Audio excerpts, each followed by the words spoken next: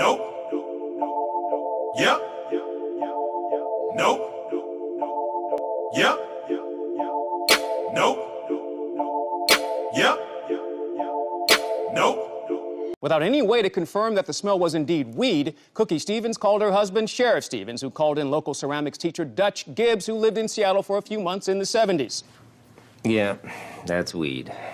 Yep, that's me. You're probably wondering how I ended up in this situation. No, you're not a gamer. No, no, no, no, no. You are not a gamer. What? What? What? What do y'all think?